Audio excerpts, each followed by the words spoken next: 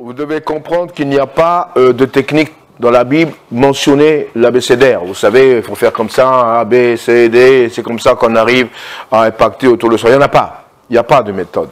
Hein. Parce qu'en fait, s'il y avait une méthode, il n'y aurait pas besoin du Saint-Esprit.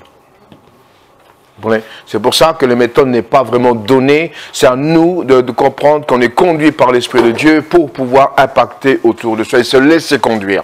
C'est toute la différence. C'est pour ça que dans cette étude, je n'ai pas de verset biblique. On va en citer, je vais en citer au fur et à mesure, hein, comme ça, mais je ne les ai pas notés, vous aurez un papier, il n'y a pas de verset biblique, mais c'est plutôt tout ce qui est pratique par rapport à, parler autour de soi.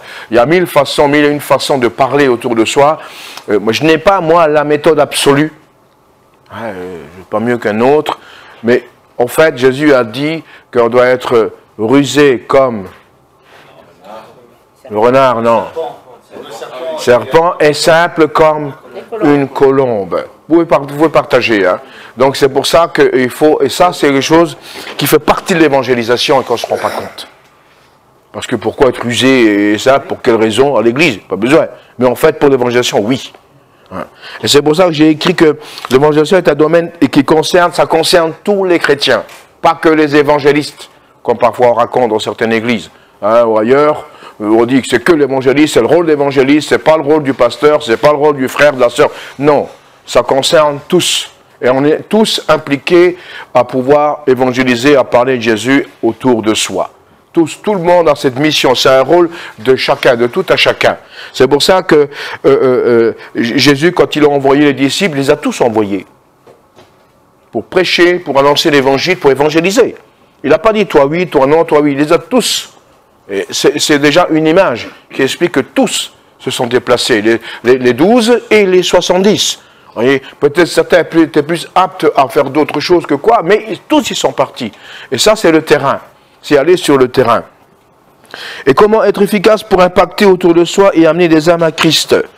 Alors aujourd'hui, euh, beaucoup ne savent pas trop comment faire et on a la méthode la plus ancienne que nous connaissons, c'est le tract. Vous savez, le tract, un petit prospectus. On parle de Jésus dans le prospectus. Je ne suis pas contre les, on n'a pas à être contre les prospectus, mais aujourd'hui, on voit que c'est pas vraiment efficace. Hein, vous pouvez, nous, on en a distribué des milliers des milliers et des milliers, même avant que je démarre l'œuvre ici l'œuvre d'église euh, Église SOS, avant ailleurs, quand j'étais jeune, des milliers et des milliers, et les résultats sont très très très maigres. Donc si vous comptez gagner des milliers d'hommes avec le tract, alors euh, euh, faites plutôt une imprimerie. Vous aurez peut-être des chances de pouvoir. Voilà. Mais c'est pas, ah, ça ne veut pas dire qu'il ne faut pas, qu'il faut pas négliger le tract. Aujourd'hui, euh, il y a eu des, retombées exceptionnelles. À l'époque, une dame qui ne savait pas lire et pas écrire, elle trouve un bout de papier par terre avec une belle image. Elle prend cette, ce, papier, et c'était un tract qui parlait de Jésus, mais elle ne savait pas lire et ni écrire, donc elle ne connaissait pas, et elle a été voir euh, dans, ses amis autour d'elle, et cette personne autour d'elle a lu, c'était en fait une, euh, un tract qui parlait de Jésus pour se repentir. Et il y a eu le réveil chez les tziganes. Vous voyez ce qui s'est passé pour un traite. Donc, euh, mais oh, après, je pense qu'aujourd'hui, on va parler aussi des outils de travail, hein, euh, différents outils que l'on a aujourd'hui. quoi encore de divers points qu'on va développer ensemble. Il est en notre devoir de trouver de nouvelles stratégies. Vous voyez, on doit trouver de nouvelles stratégies pour impacter. Si vous parlez en France, vous parlez en France à un, Français, il faut la méthode française. Vous parlez en France à un Africain, il faut aussi la méthode française et africaine. Vous parlez en France à un, Espagnol, il faut la méthode française et espagnole quelque part. Pourquoi? Parce qu'il y a les cultures qui font les différences. Dieu n'a pas de culture. Les hommes ont des cultures, les pays ont des cultures. Mais il est vrai qu'il faut s'adapter par rapport à notre environnement. Voilà un des points aussi, s'adapter à son environnement. C'est-à-dire avec qui on dialogue, qui en parle. Et ça, c'est important. Mais je vais vous parler aussi du premier point hein, que j'ai mentionné, c'est l'expression corporelle. Je l'ai écrit comme ça. L'expression corporelle est très très importante. Pourquoi? Parce que euh, Si vous allez euh, euh, dans la rue ou autour de vous, vous parlez de Jésus, et que vous sentez mauvais, la personne n'aura qu'une idée en tête, c'est que vous partez. C'est normal. Si vous parlez de Jésus, hein, que euh, euh, vous avez une tenue qui est une demoiselle qui va parler de Jésus, hein, qui a un décolleté exceptionnel et une jupe, mini-jupe exceptionnelle, puis elle va parler à un jeune homme, est-ce que je peux vous parler? Le jeune homme, il va dire, bien sûr. Mais durant le dialogue, il ne va pas écouter ce qu'elle dit, mais il va plutôt regarder ce qu'elle est, ou comment elle est. Ce qui est d'une logique, donc c'est pour ça qu'il faut aussi une tenue adéquate. C'est normal. Vous comprenez? Voilà, c'est vraiment important ça. Euh, être euh, à l'aise, en mesure de bien, de bien, quand vous parlez à quelqu'un autour de vous, il faut, il faut avoir tous les atouts pour vous. Comprenez? Si vous êtes gêné dans un truc, vous, vous, vous, vous allez être bloqué. Moi, je connaissais un, couple là, puis le, mari il me disait, c'est des chrétiens encore aujourd'hui, hein. Ils sont beaucoup, plus âgés. Il me dit, ah, tu sais, Manu, moi j'aime évangéliser. Alors je vais là, évangéliser. Mais le gars, quand il ouvrait la bouche, il lui manquait toutes les dents. Il avait une au milieu toute noire. Donc, dans tout pourri. Donc, quand la personne, lui, il riait, les gens, bah, ils, regardent ça. Et, alors je dis, mais tu sais, ça serait bien de, de renouveler un peu cela, parce que les gens vont être impressionnés et vont même reculer. Si vous parlez, moi des fois quand je prêche après la prédication, ben, j'ai une mauvaise haleine, c'est logique parce que j'ai parlé pendant une heure, etc. Donc c'est à nous de faire attention. Si on va dans la rue parler aux gens, si c'est bien d'avoir un petit bonbon, un petit chewing-gum, ben, pour éviter. Il faut éviter, vous savez, des trucs qui pourraient nous, nous mettre des barrières. Et règle ça, ça peut mettre une barrière et la personne en face de vous ne vous écoutera pas. Normal.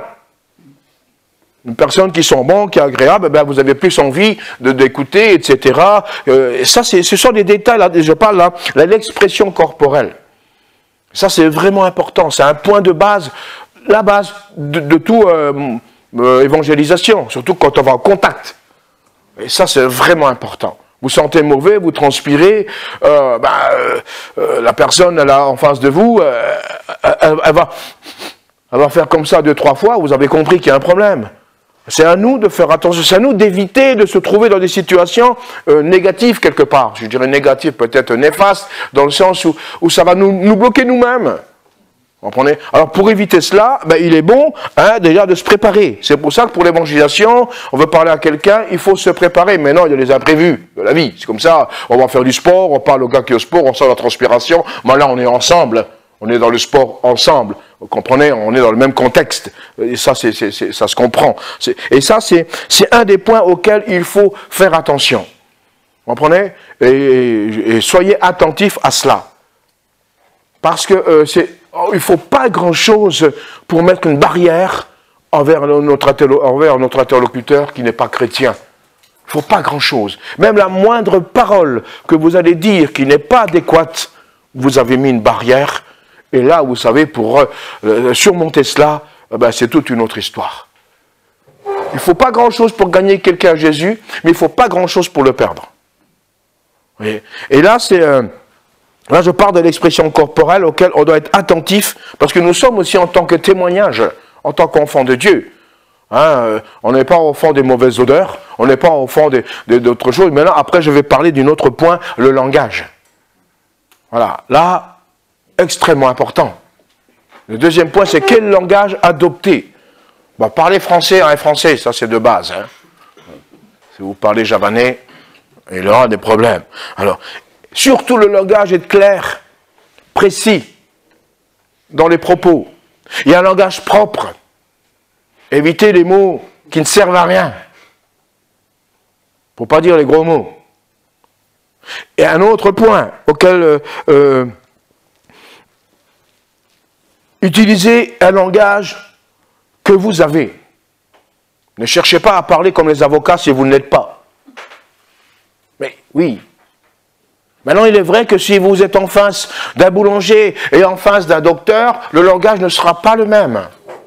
Donc ce sera aussi à vous de pouvoir euh, euh, développer un peu intelligemment. C'est pour ça qu'il faut être rusé comme un serpent et simple comme une colombe. Et là, à chaque fois, en fonction de ce langage, ben vous allez découvrir, vous allez découvrir vous-même que vous avez des capacités. Vous allez vous-même vous améliorer en parlant avec votre interlocuteur. Vous parlez avec un collègue de travail, vous aurez un, langage avec le collègue de travail. Un chantier, c'est un langage de chantier. Ça n'a rien à voir. Vous comprenez? Un langage dans la rue, dehors, c'est un langage qui est différent. Et c'est pour ça qu'il faut être important et surtout hein, euh, euh, euh, être à l'écoute. Être à l'écoute. Savoir écouter. Prendre le temps d'écouter la personne. C'est une qualité d'être à l'écoute. Dans la Bible, Jésus était souvent à l'écoute. Les apôtres étaient à l'écoute. Ils se réunissaient, ils étaient à l'écoute d'un problème, et ensemble ils se concertaient. Et après, il y avait une décision, mais il faut être à l'écoute avant. Ça, c'est le point par rapport au langage. Savoir couper court. Éviter de raconter des généalogies qui ne servent à rien. Savoir couper court si cette personne vous emmène dans un dialogue que vous n'êtes pas intéressé, par exemple, ou qui va vous éloigner du sujet, c'est à vous de trouver l'astuce, là, d'être rusé, de couper court. Si vous tombez, vous êtes dans la rue, vous parlez à quelqu'un, et le gars, il est passionné de football, ah ben, vous pourrez parler trois jours de football avec lui, c'est pas pour ça que vous aurez parlé de Jésus. Vous aurez parlé que de football. Mais savoir couper court par rapport à la passion de la personne, et intelligemment, pas dire, écoute, de football, ça ne m'intéresse pas, je veux même pas l'entendre parler, c'est nul, c'est n'importe quoi. Alors vous avez mis une barrière.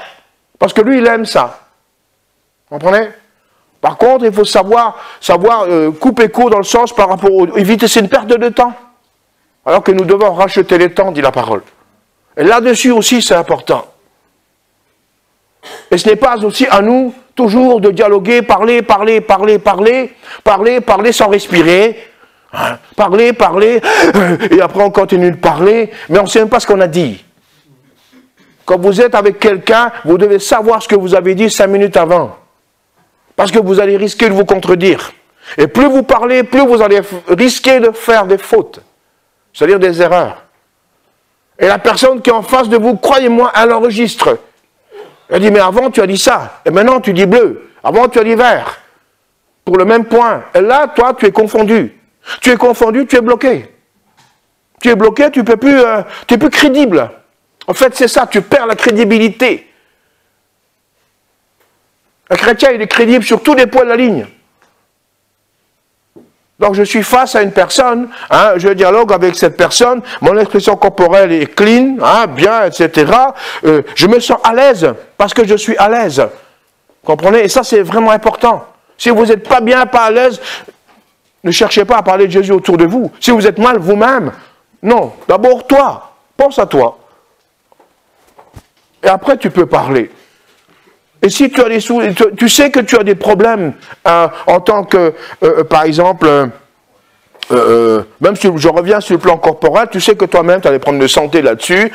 nous, moi, je connais un collègue au, travail, son problème, il transpire énormément et c'est une maladie. C'est une maladie. Hein. Donc, euh, euh, il peut se laver comme il veut, une demi-heure après, il sent mauvais. Voyez Donc, supposons que j'ai ce souci, je peux parler à quelqu'un, je dis oui, j'ai un souci je, de, transpiration, j'ai un nom, de transpiration, euh, excusez-moi, je sens un peu mauvais, mais oui, se, le, dire, ça se libère, et la personne va vous comprendre. Mais si vous le cachez, un exemple, dire, si je suis bègue, hein, je, je, je, hein, ah ben, il ne faut pas avoir peur de dire à la personne. Écoutez, oui, j'ai un souci, problème d'élocution.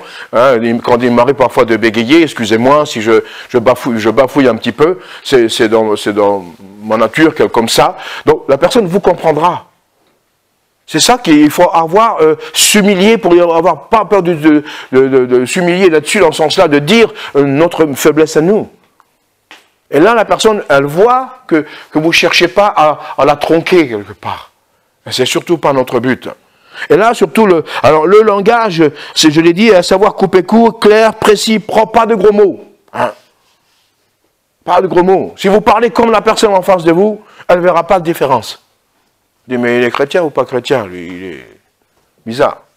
Si vous êtes plus vulgaire que la personne en face de vous, c'est que ça pose un problème. Donc, euh, ne parlez pas de Jésus autour de vous, s'il vous plaît. Parce que vous allez faire plus de dégâts qu'autre chose. Ça va?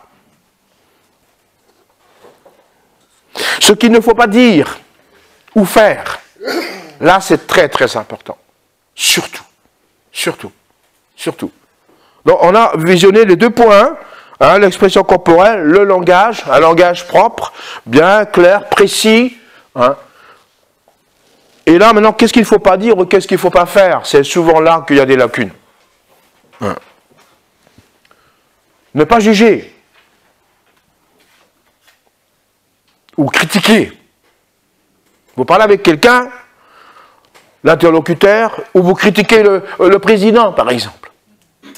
Eh, tu sais, moi, je ne suis pas comme lui, lui, la politique, et je commence à critiquer le président, les ministres, et on commence à les insulter, et vous allez, allez parler de Jésus après. Non, non, ne faites jamais ça.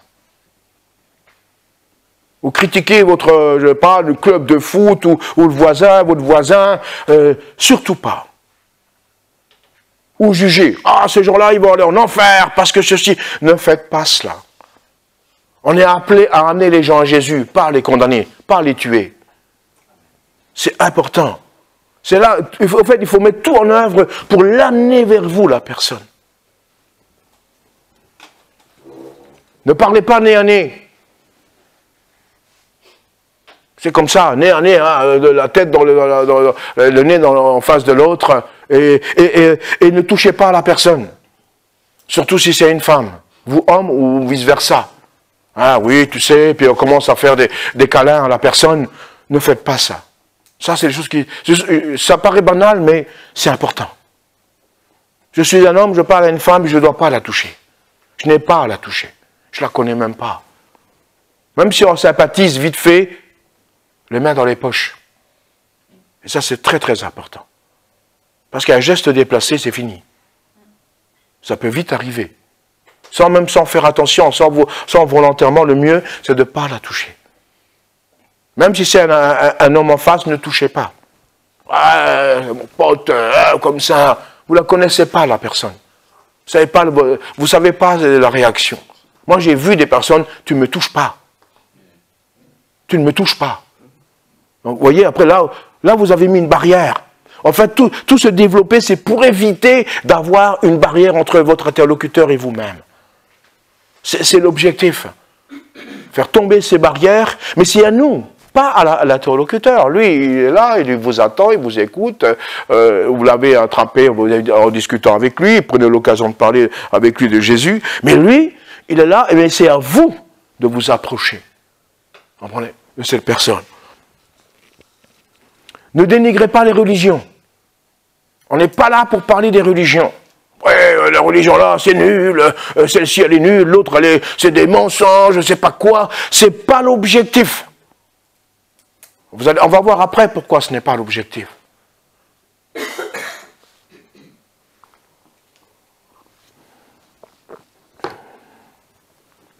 Dénigrez pas les politiques non plus. On n'est pas là pour faire de la politique ou de la propagande. On est là pour essayer de toucher une personne, de lui parler de Jésus. Ça ne veut pas dire qu'on n'a pas de pensée politique. On peut dire, oui, j'ai des pensées politiques, mais je ne suis pas là pour parler de politique. Moi, je le dis souvent. Oui, j'ai des pensées, je ne fais pas de politique, mais j'ai des pensées, j'ai des droits. C'est libre, liberté de droit. Comment? Des opinions, bien évidemment. Un autre point, la vantardise. Moi je, moi je, moi je. J'ai déjà même entendu parmi nous, souvent ce genre d'expression.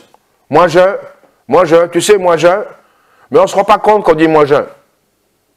Quand tu ne te rends pas compte de ce que tu dis, c'est grave. Qui le dit à ta place? Qui parle dans ta bouche? Alors que tu dois mesurer. C'est comme des fois, on dit un gros mot euh, qu'on dit souvent en France, et qu'il y en a, ils le disent tous les trois phrases, ou toutes les deux phrases, et ils ne se rendent même pas compte. Alors je dis, qui contrôle cette bouche? En tant que chrétien, ça ne doit pas exister. Chaque parole qui sort de ta bouche doit être mesurée. Même si tu es fâché avec quelqu'un, ta parole doit être mesurée. C'est important ça. Alors les vantards disent, hein, moi je sais tout. Je connais. Oui. Ah, tu es ingénieur informaticien. Moi, je connais mieux que toi, de toute façon, en informatique. C'est juste allumer le PC. on ne va pas dire je sais tout. il faut être humble de dire, écoute, ah, tu es spécialiste, ah, ben c'est super, euh, tiens, ben, je profite pour poser une question par rapport à cela, j'ai des lacunes là-dessus, comment on peut faire? Vous voyez, on raccroche en même temps. Et, et on valorise la personne. Très important. Ça, c'est vraiment, euh, c'est essentiel. C'est pas de leur rabaisser. Dire, écoute, ça sert à rien, c'est l'orgueil. Euh, euh, non, on n'est pas là pour ça. Mais moi, je ne suis pas là pour me vanter. Moi, je sais, je connais tout. J'ai mis aussi un point. ah oui, ah oui. Dieu m'a parlé, Dieu m'a dit ceci, Dieu ce... Non, on ne parle pas comme ça dans la rue. La personne ne vous comprendra pas. Parce qu'elle ne connaît rien de Dieu. Elle ne connaît rien. Si Dieu vous a parlé, même par rapport à la personne qui est avec vous, en face de vous, ne lui dites pas. Dites ce que Dieu vous a dit, mais sans dire Dieu m'a dit ceci maintenant pour toi. Ne dites pas cette phrase. Dites voilà, euh, je suis, je prends un exemple, euh, François, et puis euh, en fait François, à propos, tu as un problème de, santé. J'entends que Dieu me dit, il a un problème de santé. Je pas dire, Dieu vient de me dire qu'il a un problème de santé. Elle ne va pas me croire, la personne. Elle va me dire, mais il n'est pas bien, lui. Parce qu'on est dans la rue, on n'est pas dans l'église. Ce n'est pas le même terrain, on va voir après là. Et le même langage.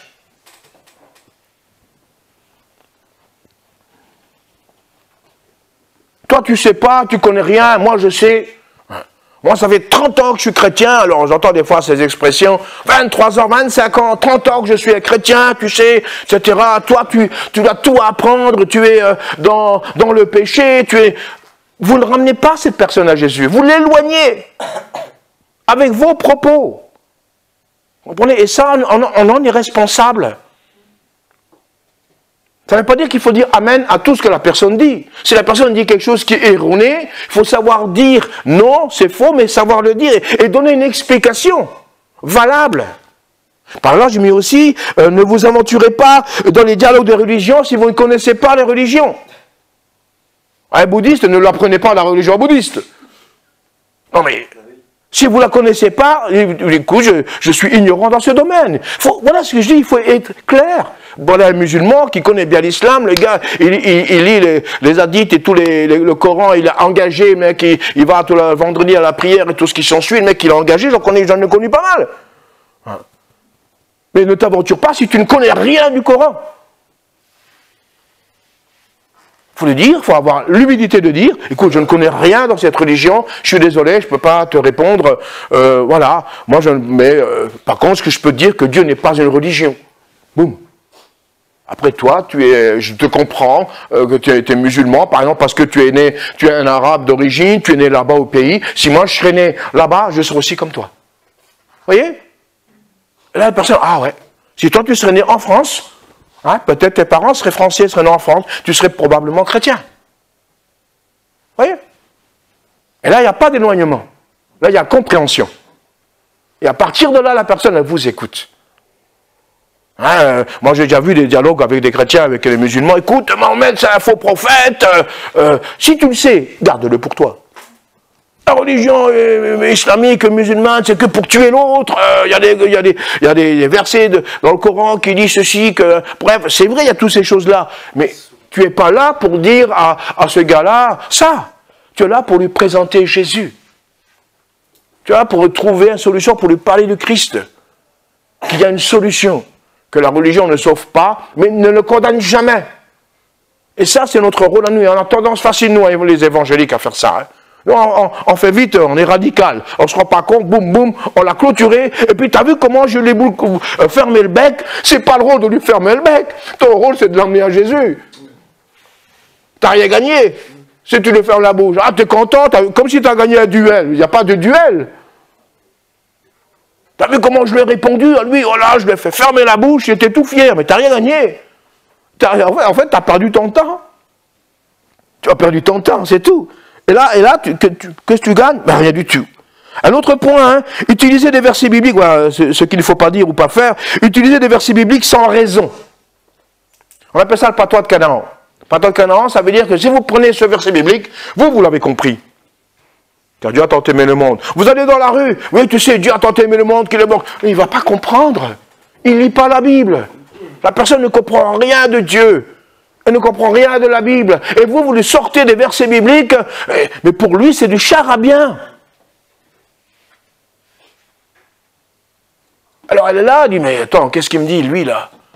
Et des fois, on le fait, nous, malheureusement, par orgueil, pour montrer qu'on connaît. Tu n'as pas à montrer que tu connais. Si tu connais, garde-le pour toi. Tu as une connaissance de la Bible, garde-la pour toi. Cette personne ne comprend pas ce langage biblique.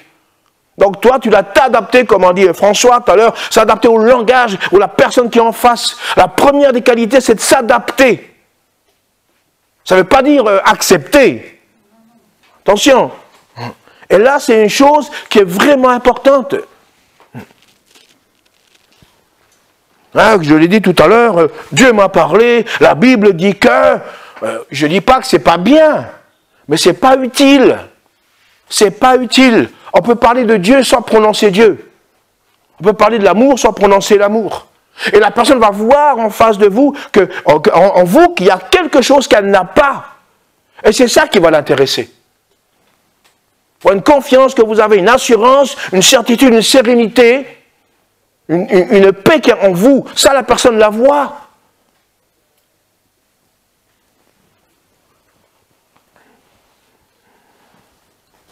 Ou alors des exagérations pour impressionner. Vous savez, il y a toujours dedans un mot mensonge. Et quand il y a un mensonge, vous êtes dans le mauvais terrain. Vous-même.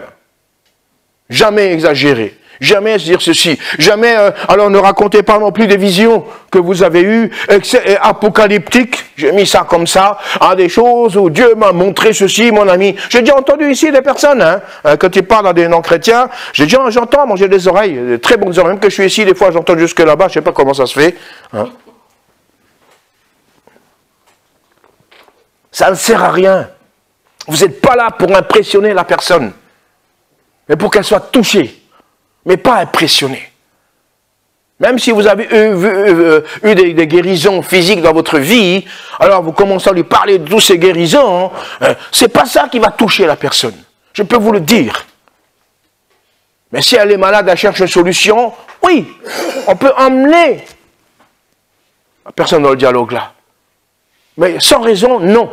Parce que la personne va, croire, euh, comprenez que vous devez être à la place d'elle. Elle va dire, mais qu'est-ce qu'elle se vend, cette personne? Pour qui elle se prend?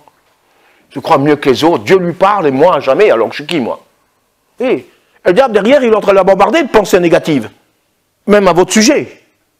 Vous êtes dans le terrain, on va voir là. Euh, savoir où je suis qui je suis, on va voir ça après. Et ça, c'est quelque chose qui est très important. Hein, toujours des exagérations, on veut toujours montrer que, on veut, on veut prouver à la personne ce qu'on est. Tu n'as pas à prouver. Tu es ce que tu es. Et gloire à Dieu. Tu dis, oui, je suis croyant, je crois en Dieu, je suis un chrétien. Né de nouveau, etc. Et l'autre, il est né de nouveau. Qu'est-ce que ça veut dire? Mais rappelez-vous, Jésus l'a dit à Nicodème. Nicodème, il n'a pas compris. Et c'était un docteur de la loi. Et toi, tu dis ici, là-bas, qu'il n'est pas docteur de rien du tout. Il ne comprend pas. C'est stupide. Vous m'entendrez jamais parler comme ça. Jamais. Parce qu'on est fier de sortir des belles phrases, alors des belles phrases évangéliques, euh, euh, protestantiques, euh, catholiques, tout ce que vous voulez, on ne sait pas trop quoi, j'invente les mots, hein. mais ça, ça n'a pas de sens. Tiens-toi au langage de la personne, et si la personne en face de vous n'a pas de foi, par exemple, dit, tu sais, moi je crois en rien, oh, vous en, vous en verrez beaucoup de ça. Je crois en rien, je crois pas. Moi je crois, euh, toi tu crois rien, etc.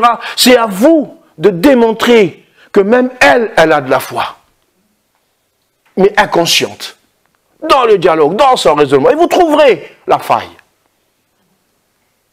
Et vous trouverez la faille. Et oui. Et ça, c'est la sagesse. Dieu donne. Rappelez-vous, elle est écrite, hein, ouvre ta bouche et je la remplirai. C'est l'œuvre du Saint-Esprit en nous. Mais souvent, ça agit quand vous êtes sur le terrain. Si vous êtes enfermé à la maison, euh, L'esprit dit, ben, écoute, tu es tout seul, hein, je ne te parle pas pour rien. Si je te parle, c'est parce qu'il y a une raison, pour construire des choses. Et ça, c'est le point essentiel du chrétien. Vous voyez, ces trois points de base sont extrêmement importants pour pouvoir être en mesure de parler de Jésus à quelqu'un. Juste ça. On n'a même pas entré dans les versets, on ne va pas lire beaucoup de versets, quelques-uns dans la Bible, parce que vous connaissez la Bible, je ne suis pas là pour vous enseigner sur la parole, sur le point, mais juste la pratique de parler de Jésus autour de soi, de, de toucher quelqu'un autour de soi, c'est très important.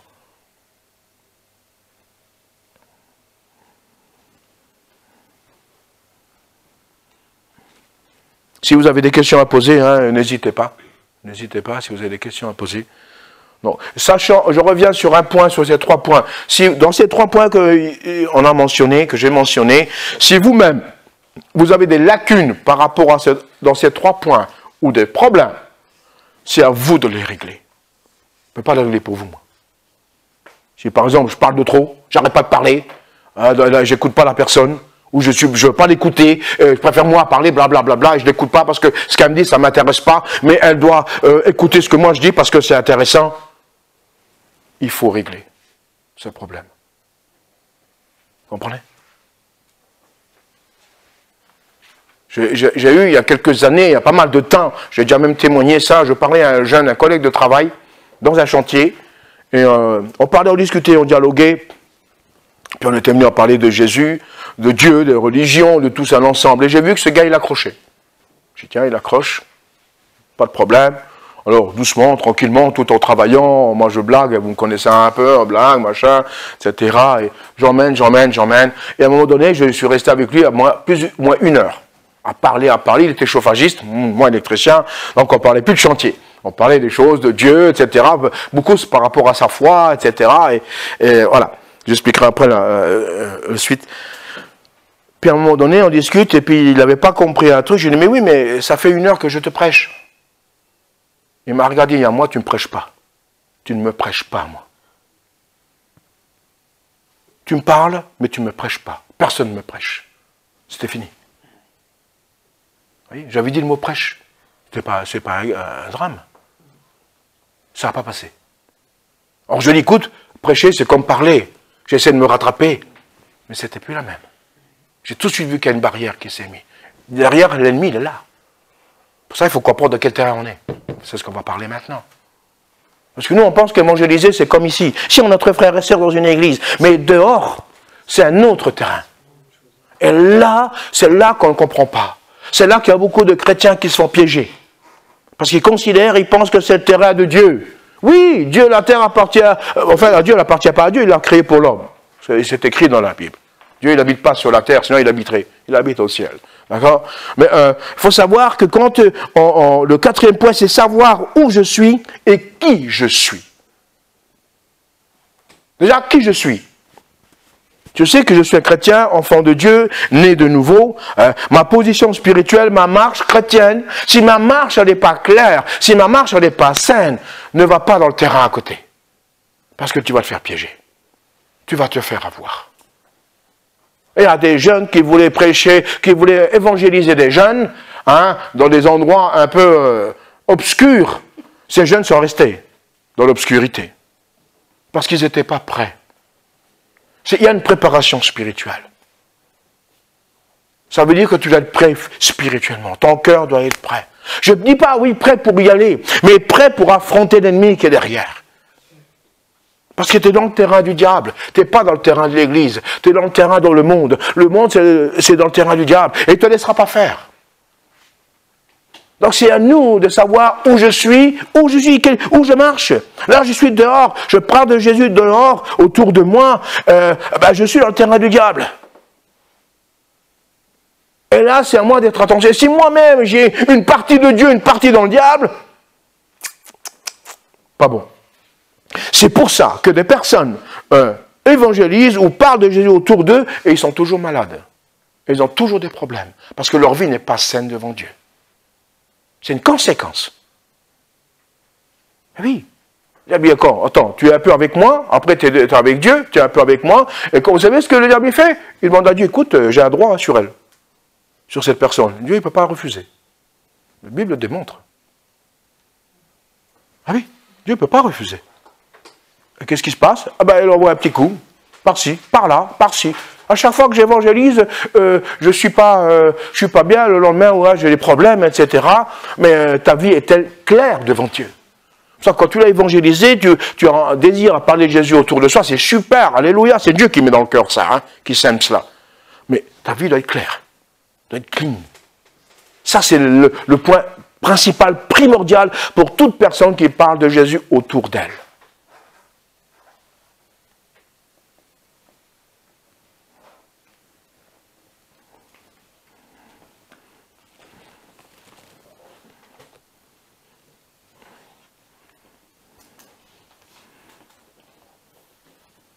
Savoir où je suis, qui je suis, même les dons.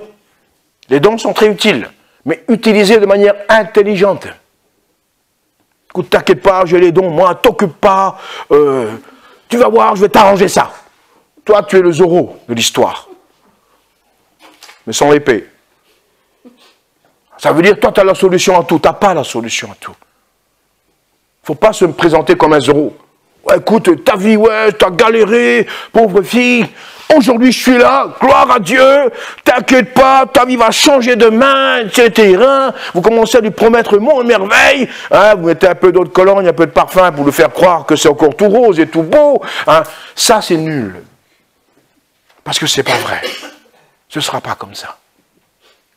Et là, vous allez. Et la personne va vous croire, avec une suspicion toujours, mais à la moindre faille, elle vous le mettra dans la figure. Et là, vous allez être Baba. Et comment Oui, tu m'avais dit ci, ceci, cela. En fait, c'est rien de tout ça. Là, vous êtes. Euh, je, j'ai déjà fait ces erreurs, moi. Hein. C'est pour ça que je vous en parle. Hein. Et bien longtemps, j'ai fait ces erreurs. Parler bêtement. Et croyez-moi, quand on vous dit, ben après vous avez honte. Hein. La personne, vous la voyez, vous essayez même de l'éviter.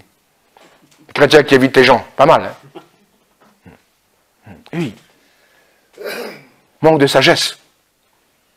Manque de sagesse. La sagesse se canalise.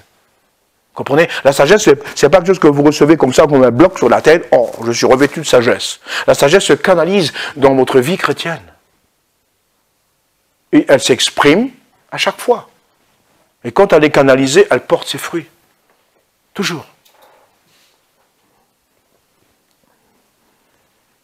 Donc, euh, savoir où je suis, qui je suis, connaître le terrain où je suis. On dit toujours qu'une équipe de football, lorsqu'elle joue dans son, propre terrain, ils se sentent mieux. Bizarre. Pourtant, le terrain, l'autre côté, c'est la même chose. C'est le même terrain, c'est la pelouse. Mais pourquoi? Parce que c'est leur terrain. C'est drôle, mais c'est comme ça. ils le disent tout le temps. Ah, c'est chez nous, donc chez nous, on a déjà un avantage. Je ne vois pas pourquoi ils ont un avantage, mais c'est chez eux. Chez eux, ils se sentent chez eux. C'est chez moi, là. Ici, nous, on est des intérêts dans une église. C'est chez nous, ici. Alléluia. Quand les gens de dehors viennent ici, ils viennent dans notre terrain. C'est différent. Mais quand vous, vous allez dans le terrain dehors, vous êtes dans un autre terrain, dans le terrain de l'ennemi. Et le diable, il vous guette de loin. Vous ne le voyez pas, mais lui, il vous a vu. Il vous a à l'œil. Et si vous êtes tordu, il ne va pas vous dresser, lui. Il va vous tordre encore un peu plus.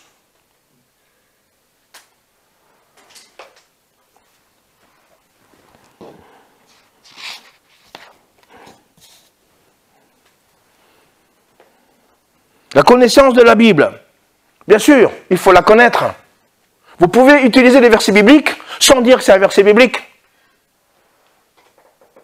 Moi, je, fais souvent. Ouais, tu sais qui cherche trouve. Ah ouais, ouais, ça c'est super.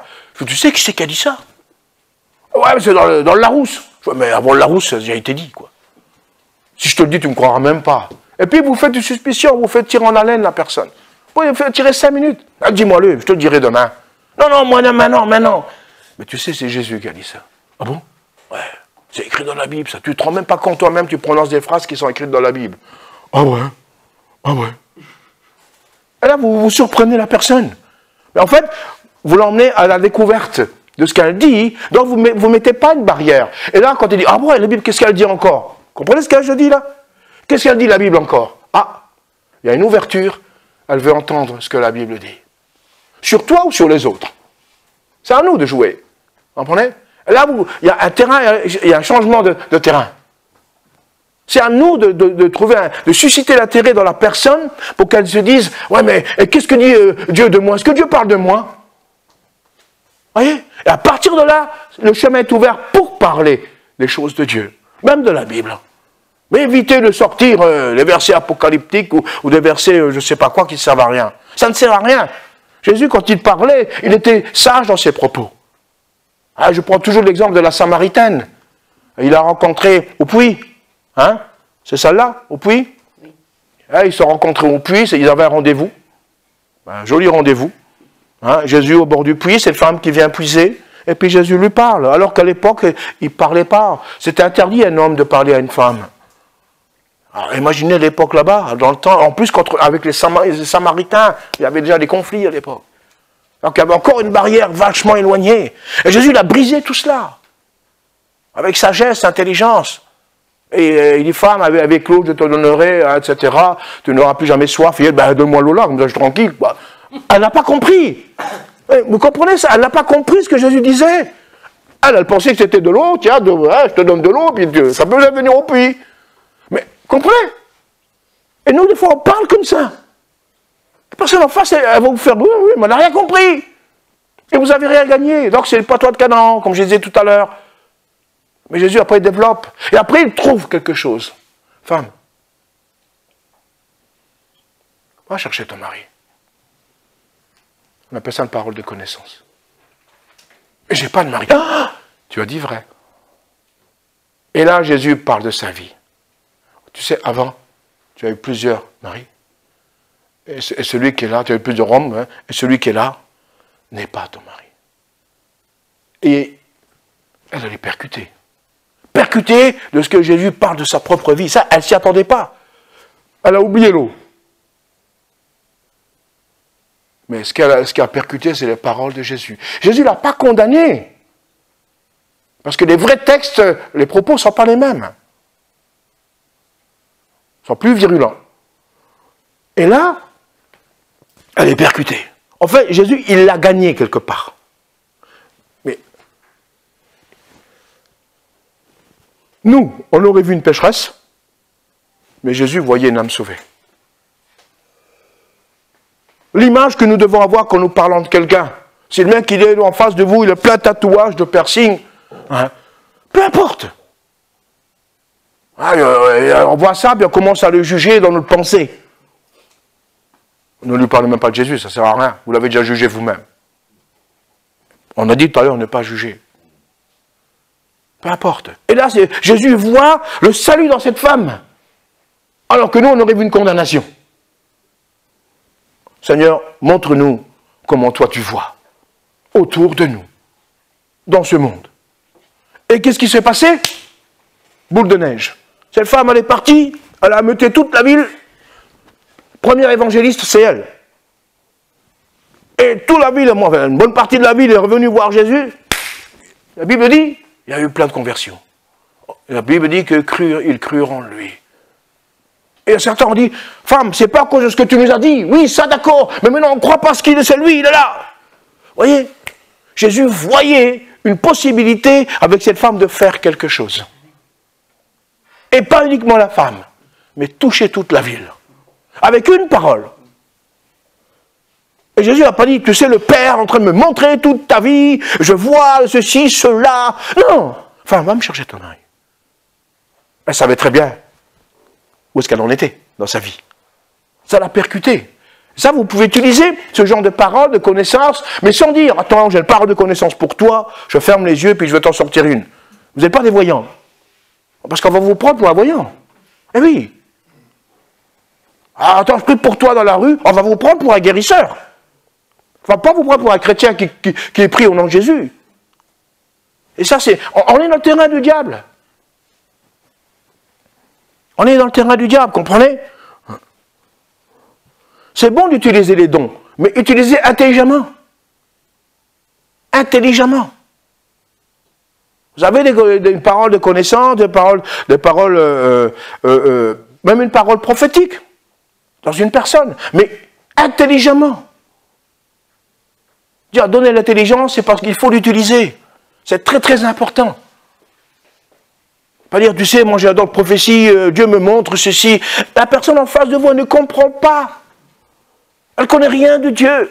Maintenant, si vous tombez avec une personne qui a déjà, qui a déjà fréquenté les églises, c'est encore un autre, un autre terrain, comprenez? Une personne qui était frustrée en tant que chrétien, ça c'est encore un autre terrain. C'est même parfois plus difficile. Donc le dialogue ne sera pas le même. Vous, tombez en face d'un athée. Hein, euh, hier j'ai donné un message, j'ai donné une expression sur l'athée. Hein, L'autre il est athée, il croit en rien, mais en fait il n'est pas athée, il est ignorant. Parce qu'il ne sait rien du tout. Il se dit athée, mais il ne pas ce que ça veut dire. Moi, j'ai déjà, pris au piège, entre guillemets, le mot piège, des personnes. J'ai dit, tu peux me donner la définition de athée? Ben, ils n'ont pas été capables. Personne. Alors, tu dis quelque chose que tu ne sais même pas ce que ça veut dire. Alors, déjà, je rentre dans le terrain. Je ne le condamne pas. Je dis, tu sais ce que c'est un athée? Et moi, je ne lui dis pas. Je ne lui dis pas. C'est ça qu'il faut être intelligent. Il faut laisser marmonner. Il faut que ça travaille dedans. Il ne faut pas tout dévoiler. Il y en a ici, certains, en deux minutes, ils ont dévoilé tout. Tout, blablabla, blablabla, bla, toute leur vie, tout ceci. Ne faites pas ça. Vous perdez votre temps. Il faut être intelligent. Parler avec intelligence. Tenir la personne en, haleine. Quand j'ai rencontré François, à l'époque, il, y a bien longtemps, mais quelle bataille c'était quelqu'un qui n'est pas stupide et qui connaissait pas mal de choses. Donc il fallait qu'il lui répondant. Et il m'a posé mille et une questions. Mais dans tout, je ne sais pas où il allait aller chercher ces questions. et il a eu mille et une réponses. Mais chaque chose de son temps. C'était vraiment, vraiment dans le plan de. Et j'ai vu, parce que Dieu m'avait montré. C'est lui que j'ai choisi. Toute une bande d'intérimaires que j'avais à l'époque. Mais lui, ça, je ne lui ai pas dit. Mais oui. Oui. Moi, je rentre là, je me rappelle, je rentre là, j'étais le chef de chantier, je rentre, il y avait toute une équipe, là, ils fumaient des joints, pour vous dire, à la pause casse-croûte. Hein. Et puis je regardais comme ça, puis les amis me disent, lui, là, lui, il est à moi.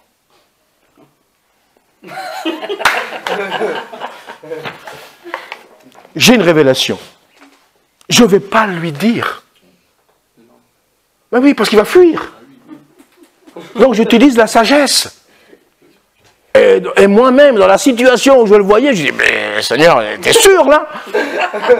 Oui, ben, au même moment, ils, ont passé le, truc. il y avait la fumée, tu ne voyais pas d'autre bout. Tellement ils étaient euh, en train de manger. Je dis, mais comment vous faites, les gars? Et il m'appelait le coupeur de tête. Parce qu'il pensait que j'étais là, venu sur le chantier pour euh, virer tous les gens. Alors c'était pas du tout. C'est vrai, parce que l'ennemi, je ne savais même pas qui il était. L'ennemi, il amène quand même celui-là, il est venu pour nous perdre. Comme ça, la, première truc, celui-là, il est arrivé pour nous perdre. Et on ne se connaissait même pas. Pour se dire que l'ennemi, il est déjà sur le terrain. Bien sûr, tout à fait, exactement. Alors, qu'est-ce qui s'est passé? Le temps est passé. Euh, après, je ne sais plus, moi je, je, suis parti sur un autre chantier, j'ai plus eu le temps, ils n'ont pas eu le temps de parler avec lui. Alors moi, j'ai même à la maison, dans mes prières, Seigneur, tu m'as parlé de cet homme-là, euh, je ne me même plus comment il s'appelait, moi, je ne vois plus. Il est où? Puis à un moment donné, je demande à mon patron, euh, j'ai besoin d'intérimaire, dans le chantier où je suis là, il me faut du personnel. Il m'en faut quatre, ou trois ou quatre, je ne sais plus combien. Et bien dans les quatre, il y avait François. Et lui, je ne vais pas aller avec l'autre là, je sais qu'il est pasteur, je ne veux pas qu'il me parle. Oui, il avait dit ça à ses copains ou je ne sais pas qui. Il voulait pas ou je ne sais pas qui, il avait dit ça. Ah non, pas lui. Et boum, face à face. Et moi, je prends les gars, les bonhommes, je leur donne du boulot, etc., etc. Puis, euh, puis Saint-Esprit me dit, oh, il est là. Hein. J'ai fait mon boulot, Saint-Esprit te dit, hein, mais non, c'est à toi. Et tout doucement, on a commencé à parler, etc. Puis il était intéressé, etc. Jusqu'au moment où il a dit une phrase exceptionnelle, que j'aime bien ce genre de phrase. Je cherche la vérité. Alors là, je te la donne demain, la réponse. Le lendemain, je viens avec la Bible, tiens. Regarde ce que c'est marqué. Ah, ah ben alors c'est Jésus la vérité de vie, c'est Jésus la vérité, c'est pas une religion. Et à partir de là, le cœur s'ouvre. À partir de là, je comprends qu'il y a une bonne terre. Une bonne terre où on peut mettre une bonne semence. Là, la semence, elle rentre, elle prend racine et elle porte du fruit. Et elle est ce qu'elle est aujourd'hui. Mais c'est tout un processus. Ça a duré quand même quelques semaines, cette histoire-là. mais tranquillement. Je n'ai pas précipité, je n'ai pas parlé de miracle, de rien. Je parlais de Jésus, etc. Lui, il, à chaque fois le lendemain, il me dit, dis, j'ai des questions, encore. Et moi, je disais encore, mais j'étais content. Hein. Oui, je faisais un peu le surpris, mais je, m'y attendais. Vous voyez, ça, il, faut être, il faut être usé. Faut être usé. Ah ouais, dis-moi. Alors, il me parlait de tant de questions, je ne sais plus lesquelles. Des fois, je me demandais où il allait chercher ces questions, comme je disais tout à l'heure. Mais en fait, c'était bon. Mais il avait des réponses. Après, il me parlait de toute la famille. Il me parlait de son épouse. Il parlait de ceci. Il parlait de cela. Parlait... Moi, je l'écoutais, j'ai dit, waouh, waouh. Alors, j'ai compris que le cœur s'ouvre. Là, le cœur, il commence à s'ouvrir. Il se dévoile. S'il se dévoile, c'est qu'il y a un besoin, c'est qu'il y a un intérêt, c'est qu'il y a quelque chose, c'est qu'il y a une recherche de quelque chose. Vous savez, un cœur fermé, c'est dur. Vous pouvez lui parler tant que vous voulez, il reste fermé, il n'y a pas de répondant. Hein, c'est pas, évident. Mais ce n'est pas parce qu'une personne dit ah oui, ah oui, super, super, qu'il y a aussi du répondant. Vous savez, quand on vous dit je viens demain à l'église, je vais venir, vous oubliez. Ça, c'est du vin à 99,9%. T'inquiète pas, euh, euh, ce que tu m'as dit, ça m'a touché, je, euh, dimanche là, je serai là, t'inquiète pas. Ouais, vous les attendez encore et moi aussi. Hein. Donc la question n'est pas là. C'est pourquoi je dis cela. Là, je parle plutôt de l'évangélisation individuelle.